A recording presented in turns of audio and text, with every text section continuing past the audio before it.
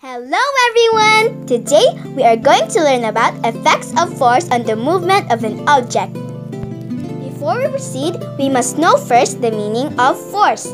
Force is a push or pulls that can cause the object to move faster or slower, stop, change the direction, size, or shape.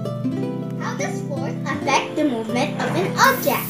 For us to know that, we will have an activity called push and go. The objective of this activity is to describe the effects of the amount of force on the movement of an object. These are the things needed. Toy car, tape measure, and a table where we can record our observation. This table has three trials. For the first trial, For the second trial, we will apply moderate force. And for the third trial, we will apply strong force.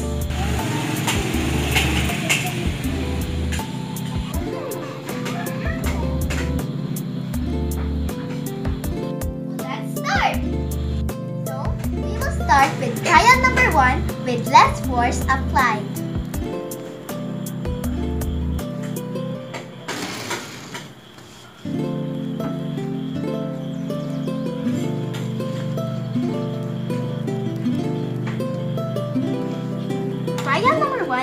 38 centimeters.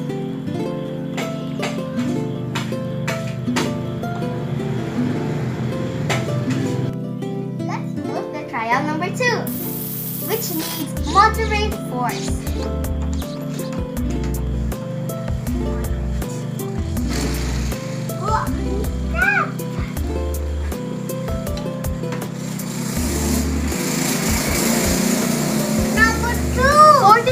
Cm. It's 43 cm.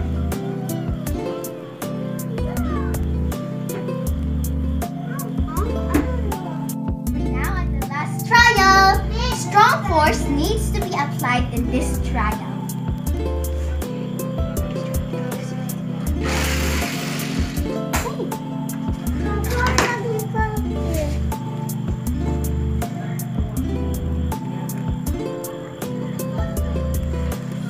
One hundred eight cm for the third trial.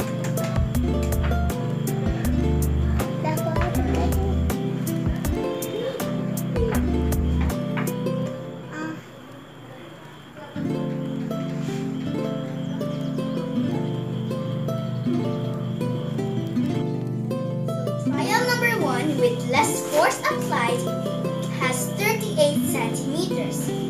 Trial number two with moderate force applied has 43 centimeters.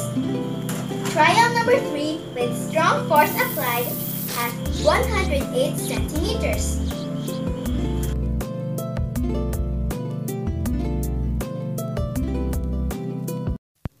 Therefore, a force can make a stationary object move, and it can also make an already moving object move faster. Forces usually cannot be seen, but their effects can. So, nothing moves, changes speed, stops, or changes direction without force. Now, guys, hope you learned something today.